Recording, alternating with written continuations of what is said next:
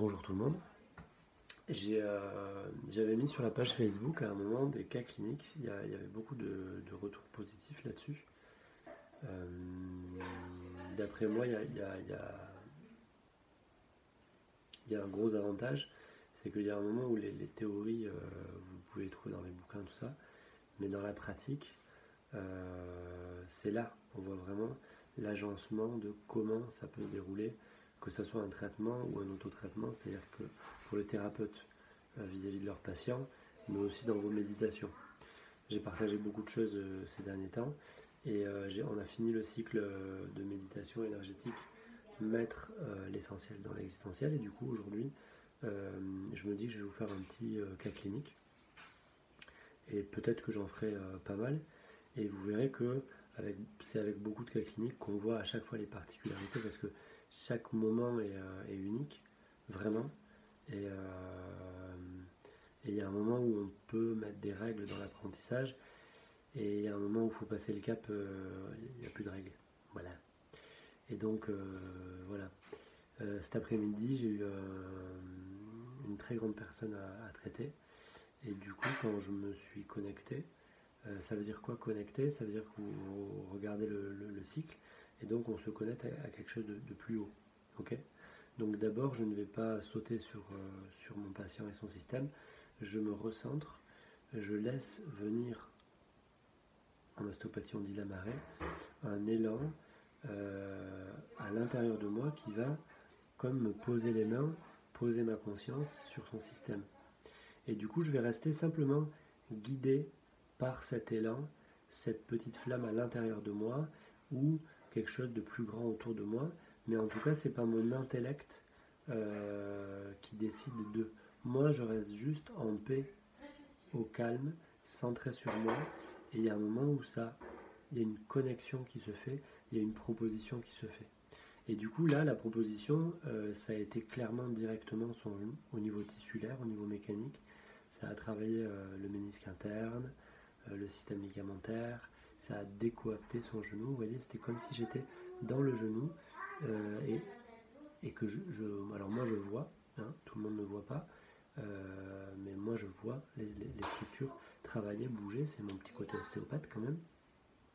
Et du coup ce genou a commencé à se libérer euh, grâce à quoi? Toujours grâce à la petite étincelle que vous avez vue à partir de la onzième vidéo du cycle Mettre l'essentiel dans l'existentiel. Regardez faites ce cycle et vous comprendrez euh, tout ce que j'explique là.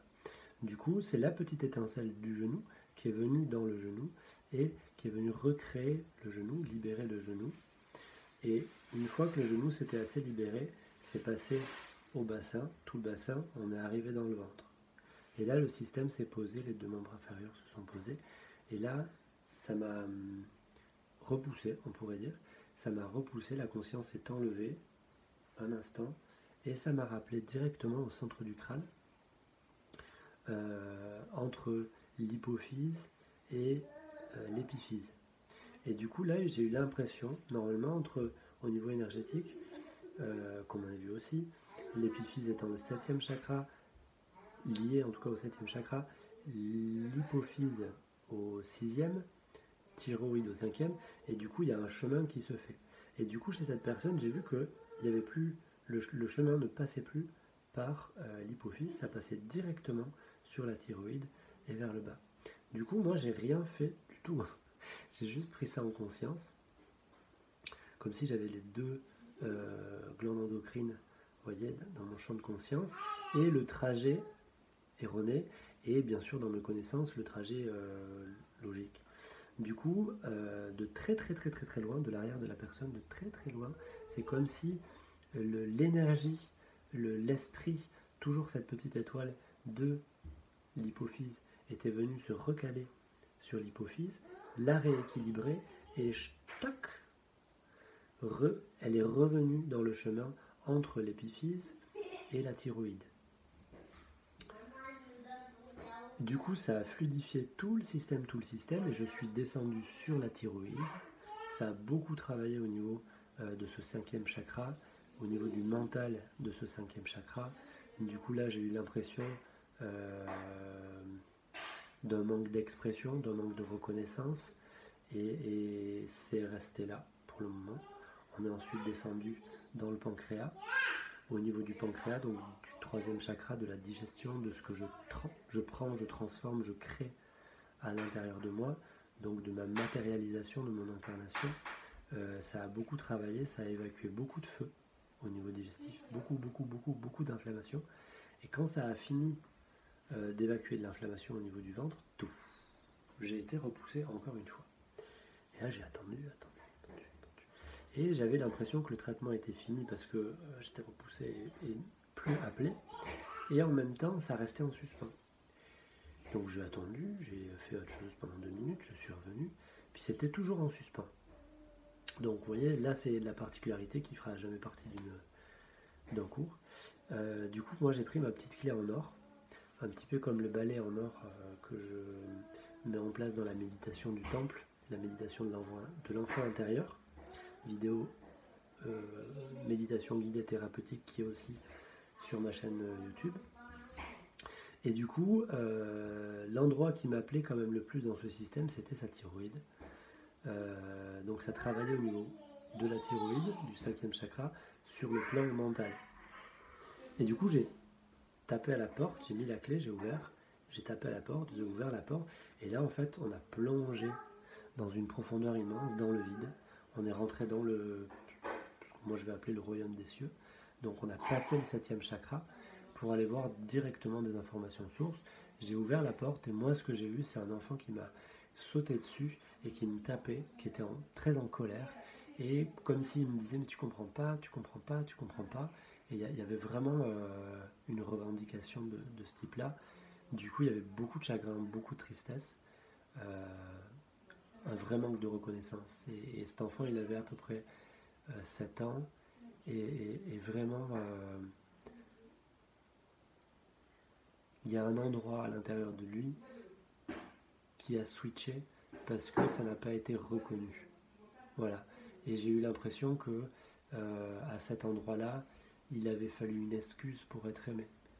Avoir des bonnes notes ou faire tel sport. Ou... Vous voyez, souvent euh, on aime les conséquences, l'existence, les objets, on oublie d'aimer l'essence. Et, et, désolé pour les parents, mais on ne peut pas aimer l'essence vraiment de façon inconditionnelle de son enfant. Il n'y a que l'enfant, lui, peut. Voilà, et donc dans chaque enfant, il y aura un jour un, manque de reconnaissance, inévitablement, parce que le but de la vie, c'est de se reconnaître soi-même, de s'accepter soi-même et d'être un entier. Donc il ne faut pas que ça dépende des parents. Les parents, le, mieux qu'ils puissent faire, c'est accompagner l'enfant et comprendre ça justement et l'aider à s'aimer lui. Voilà. Et, donc il y a à l'intérieur de nous très souvent, et, là c'est ce que, c'est ce que j'ai ressenti dans, beaucoup de, tristesse, ce manque de reconnaissance, parce que l'enfant, ce qu'il vit vraiment, c'est papa ne me reconnaît pas. Papa ne me reconnaît pas pour ce que je suis, je ne suis pas aimé pour ce que je suis, il faut que je fasse telle ou telle ou telle activité pour attirer son attention, pour être aimé. Et l'enfant a grandi, grandi, grandi. Donc moi, je suis resté avec cet enfant. Je l'ai apaisé, le système s'est régulé là-dessus. Donc, régulé, ça veut dire la tension qui s'est mise en place sur cette tristesse et sur cette colère a comme fondu dans mes mains. Et du coup, il y a une harmonisation entre le crâne, le cœur et le ventre. Et tout le système a fondu et s'est réaligné. Vous voyez? Et du coup, j'ai vu son axe central. Et ça s'est ouvert, ouvert, ouvert, ouvert. Ça, c'est une fin de séance. Et ça m'a repoussé. Et là, le traitement a été terminé. Et conclusion, ce que j'en ai gardé, c'est que euh, enfant, il a eu l'impression cette impression de ne pas être reconnu euh, dans son essence, euh, d'être reconnu seulement dans son existence, et que du coup il a créé derrière une façon de fonctionner où il va aller chercher à l'extérieur une excuse pour s'aimer. Donc il va aimer le sport, il va aimer la spiritualité en l'occurrence, il va aimer les techniques qu'il va apprendre, il va aimer avoir un beau corps, il va aimer bien manger, alors là je parle plus de lui, je parle de façon générale, il va y avoir un report sur l'extérieur, sur un objet, de l'amour qu'il doit se porter. C'est pour ça que j'ai mis le poste d'aujourd'hui. Euh, c'est que l'objectif numéro un dans la vie, je crois, c'est de se rencontrer soi-même. L'enfant ne peut pas le faire en conscience, il n'est pas là. Il, va falloir que d'abord construire notre personnalité, s'individualiser et ensuite se reconnaître. L'enfant, il est en direct, il vient de l'animal, il est en direct, il n'a pas conscience que de tout ce qu'il est. C'est la simplicité absolue. Euh, et du coup, c'est un processus qui est logique. Dieu nous porte quand on est enfant. Une fois à l'âge adulte, si tout va bien, ben, c'est à nous de prendre le relais, de se porter pour devenir vraiment des hommes entiers. Donc c'est normal d'avoir eu un manque de reconnaissance à un endroit, justement pour pouvoir, en tant qu'adulte, repartir voir notre enfant, repartir voir notre animal, pour se reconnaître soi-même, pour devenir entier.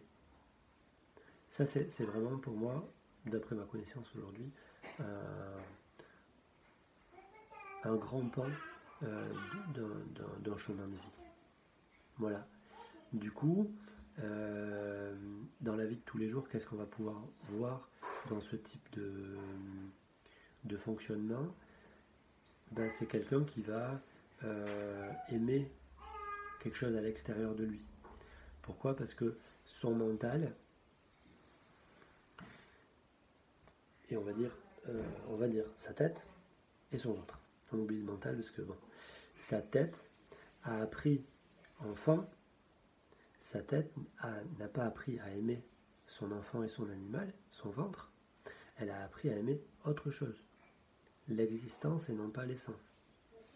Le sport, etc., etc., la philosophie, la spiritualité, etc. Et du coup, l'enfant triste, mais n'empêche que l'enfant va se mettre à chercher l'amour de ses parents.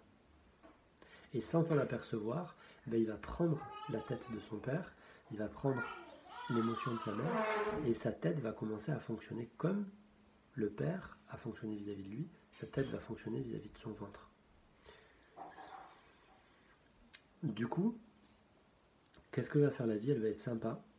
Elle va lui retirer l'objet de son amour. C'est-à-dire, quand à chaque fois qu'il va mettre vraiment il va faire de la musculation, il va avoir un super corps, il va. La nature va dire mais non, c'est pas ça que j'attends que tu aimes. Ce que j'attends que tu aimes, c'est ton essence. Tes muscles, c'est juste. C'est pas ton essence. C'est un objet. Ton corps, c'est un objet. Et du coup, elle va lui enlever ses muscles. Elle va trouver une excuse, elle va créer une pathologie qui fait qu'il ne pourra plus faire ses muscles. Demain, il va euh, être intelligent, machin, dû travailler, trouver une nouvelle technique, machin. Euh, il va grandir dans cette technique et à chaque fois que il va grandir, grandir, grandir, ben à la fin, toc, la vie va lui enlever. du coup, c'est hyper frustrant parce que ah, ah, ah, ah, ah, ah, ah jusqu'au moment où on dit ok, j'ai compris, c'est là, c'est là, c'est pas à l'extérieur. Ça, c'est mon fils qui, qui se fiche de moi, que vous entendez.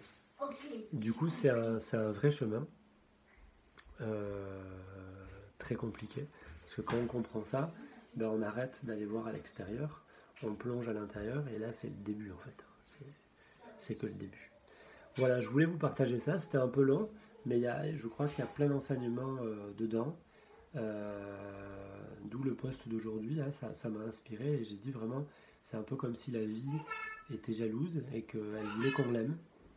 Et chaque fois qu'on aime autre chose que la vie, et qu'on ne comprend pas que c'est la vie qu'on aime, les voitures, l'argent, les grosses maisons, machin, mais chaque fois la vie est jalouse, et c'est comme si elle, allait nous enlever l'objet. Ah la merde, ah, l'objet nous manque, l'objet nous manque, et oui, mais c'est pas ça qu'elle veut nous dire, la vie. Elle nous dépouille pas, la vie. Certains voient la, toute la vie comme on est beau, on est jeune, tout va bien, et puis tout le reste de la vie, la vie va nous dépouiller. Ben, je crois pas que c'est comme ça en fait. La vie, elle nous propose de nous libérer euh, de tous ces objets qui se mettent entre moi et elle. La vie nous purifie en fait. C'est un chemin de purification pour aller retrouver en conscience de l'adulte la simplicité de l'enfant. Voilà, donc elle va nous enlever nos richesses, elle va nous enlever nos capacités corporelles, elle va nous enlever parfois nos capacités cognitives aussi, euh, pour, pour qu'on soit nu et qu'on l'aime quand même. Parce que on est né libre d'aimer, et chaque fois qu'on met quelque chose entre nous et cet amour, on, se coupe de notre propre liberté. Si j'aime les grosses voitures et que je suis persuadé que mon bonheur, il est là, je me coupe d'aimer moi simplement la vie. La, voiture est périssable. Ça vient, ça part. Et, donc, forcément qu'il y aura à un moment donné souffrance. Il y a souffrance parce qu'il y a mensonge. Je ne suis pas en vérité. Ce n'est pas la voiture que j'aime. C'est ce que procure en moi la voiture. Donc c'est moi que j'aime. Autrement dit, c'est la vie que j'aime. Et ça, c'est ma fille qui m'appelle.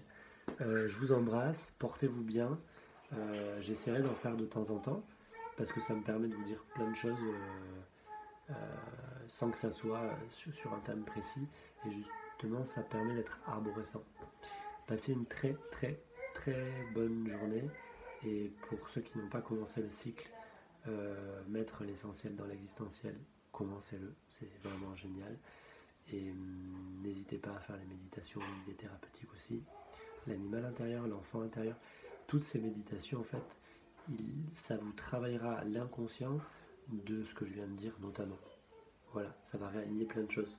Passez une très très bonne soirée. Je vais faire le bain de mes enfants.